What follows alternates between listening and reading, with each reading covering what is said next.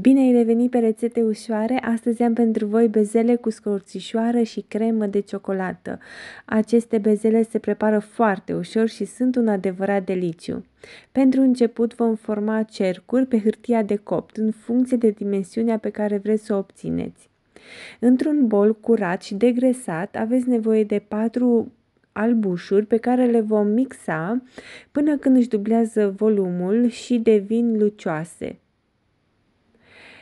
Când ridicăm mixerul și rămâne așa câte un moț, putem să începem să adăugăm zahărul. 110 grame de zahăr, turnat, atenție, treptat, puțin câte puțin. Mixăm până când devine o bezea fermă și lucioasă. Nu vă grăbiți cu zahărul și turnați încet. Mixăm până când se dizolvă și zahărul, dar devine bezeaua fermă, lucioasă și tare. Așa trebuie să arate. Următorul pas adăugăm o linguriță de scorțișoară. La fel adăugăm treptat scorțișoara și mixăm cu viteza mică a mixerului.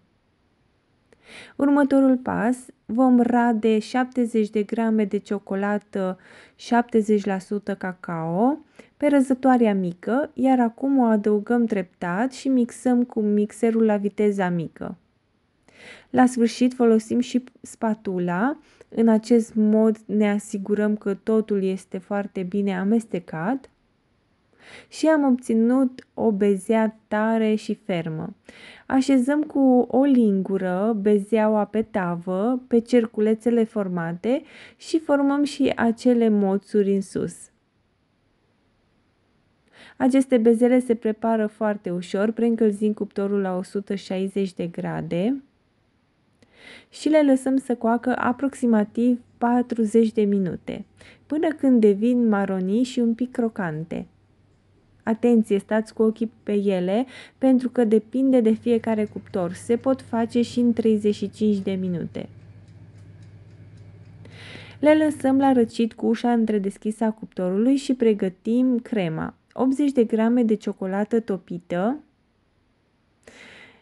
o lăsăm un pic la răcit, iar apoi într-un bol adăugăm 180 de grame de cremă mascarpone, o mixăm puțin și adăugăm ciocolata. Puteți folosi în loc de mascarpone și cremă Philadelphia.